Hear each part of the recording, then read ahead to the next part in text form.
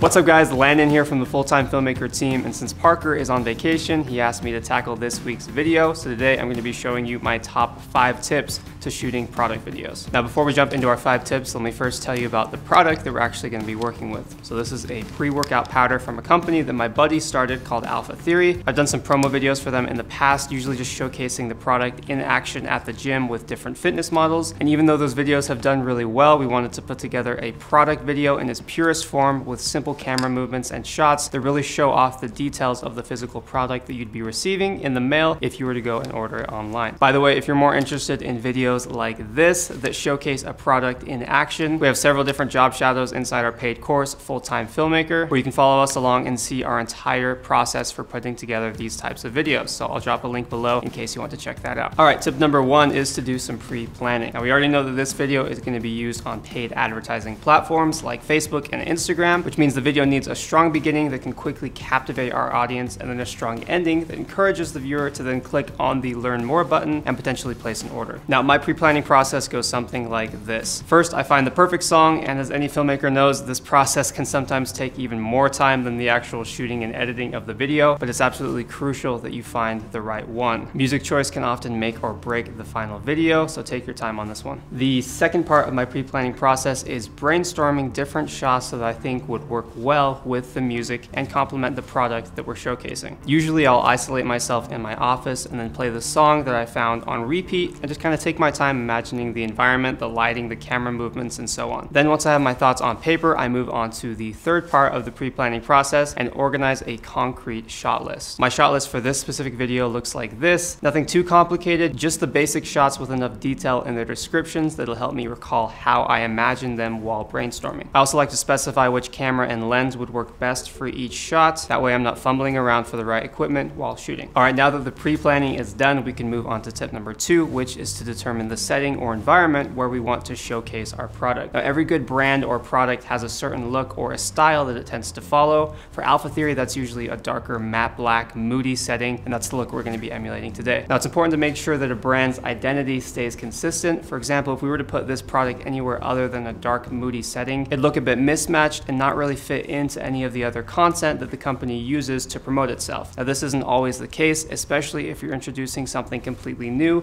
that's meant to stand out from the rest of the product line, but in this case that's not what we're trying to do. Now the main environment that I've thrown together for this product is actually super simple. It consists of a backdrop, which is just a dark fabric with a brick design that I got off of Amazon for around 20 bucks, and then a couple of acoustic foam panels that I found lying around the office. You can obviously use something a little bit more professional like a black cloth or a dark tabletop, but I saw these, set them up, and they work perfectly, so I just kind of stuck with it. Now the last piece to the puzzle in setting up this environment is plexiglass. This stuff is great for creating those subtle reflections. I just kind of laid it over the top of those acoustic foam panels, so as you can see, when I set the product down, there's a nice clean reflection. The secondary environment that we used for this shoot was actually in the bathroom of our office because there's a shower in the corner, so it wouldn't make a mess when we did the shots that involved pouring the pre-workout liquid out from the shaker bottle. Now for this setting, I taped a black background to the wall so we could kind of match the other moody shots that we'd already filmed in the main location. Now these setups would be nothing without lights, which leads to our third tip, proper lighting. Now keep in mind that different products will require different types of lighting. For example, one of our students, Austin Paul, just made an awesome product video for a brand of whiskey. Now if you just shine the light directly on that whiskey bottle, you'd actually lose the amber glow of the liquid, so you need to shine the light from the back so that it amplifies the contents of the bottle. Our product is a bit different though, so for this, I just set up the main environment with a four point lighting setup. There are tons of different lighting setups that you can use for product videos, and it's ultimately determined by the product that you'll be shooting and what lighting makes it look its absolute best. That being said, feel free to use our setup as a template, but you might find that your product looks better with a different lighting setup. Now to really isolate our products and have full control over the lighting, we turned out all the lights, then started building our lighting setup from there. Now first we wanted to put some emphasis on the height of the bottle, so we added a tube light on each side. Tube lights work really well with tall, slender objects, especially bottles, so I definitely recommend using those if you have the option. Second, we added our key light so that the label on the bottle would pop just a little bit more and not be hidden in the shadows. I also threw on a honeycomb grid so the light would be a bit more isolated directly on the product and not bleed too much onto the backdrop. Lastly, we set up a spotlight that could shine directly onto the back of the bottle and kind of separate it from the backdrop. This adds a nice rim to the edges of the bottle and the lid and really completes the setup. Now, most of the time you'd want at least one light on your backdrop, but it really depends on the overall look of your video. Since we were going for that moodier look, I didn't think the backdrop needed anything, but your case may be different. Also, when we added the mangoes and started setting up the final shot with the shaker being slammed down, we realized that we'd need another light so that our pre-workout bottle would be properly lit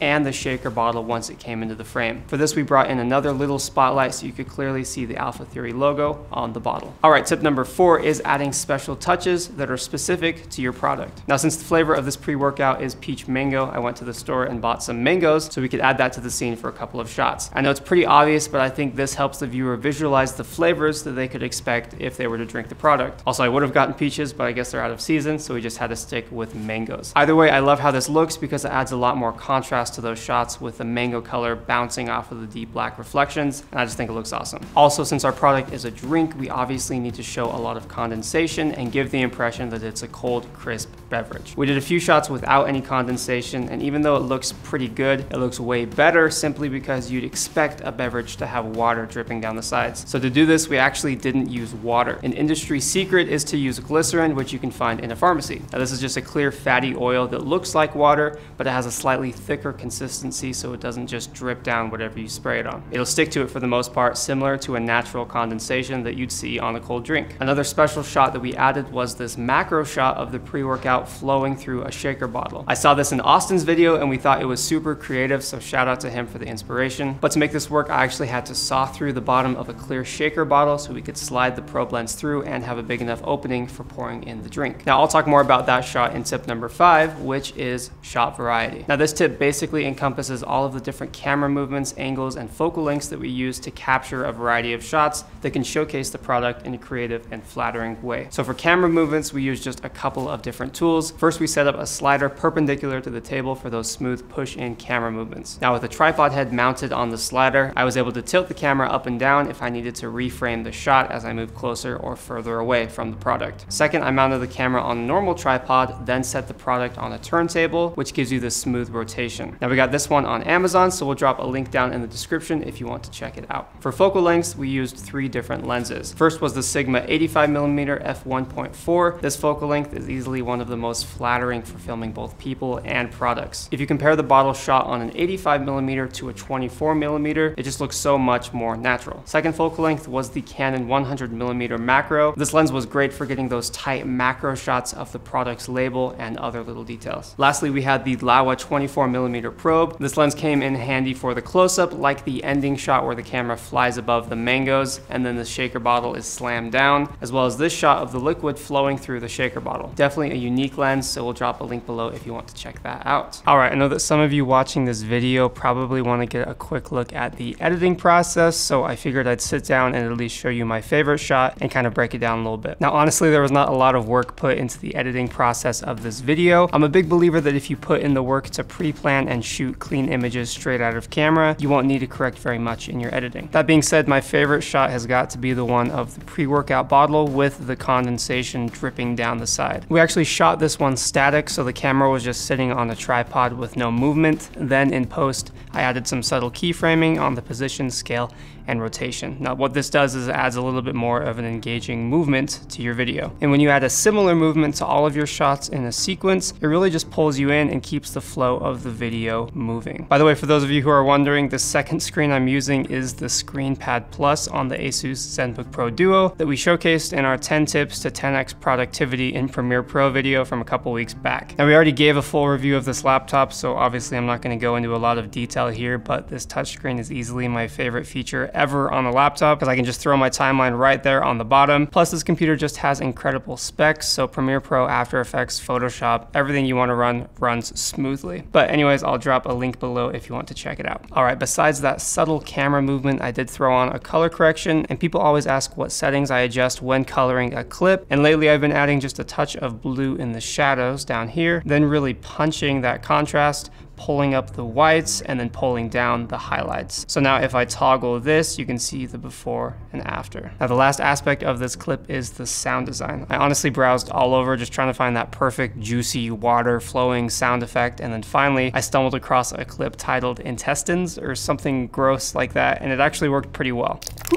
now, hopefully I didn't ruin the video for you, but it just goes to show that sometimes the sound effect that works the best is the one that you'd expect the least. Well guys, that pretty much wraps up this shoot. Hopefully this video was able to steer you in the right direction for your next product video. I'll also be putting together an editing breakdown for this video, which is one of over 300 videos inside our full course, Full-Time Filmmaker, where we help filmmakers from all over the world go from knowing nothing about filmmaking to becoming professional full-time filmmakers. Now, even if you're not a rookie, this course will still teach you new techniques, you brush up on old ones, and also connect you with a community of over 10,000 filmmakers just like you. We also have a completely free one hour filmmaking training where we give you our top 10 tips to creating cinematic videos. So links to both of those will be in the description below. Again, that pretty much wraps it up. Thanks so much for watching. Don't forget to subscribe. And if you have any further questions, please let us know.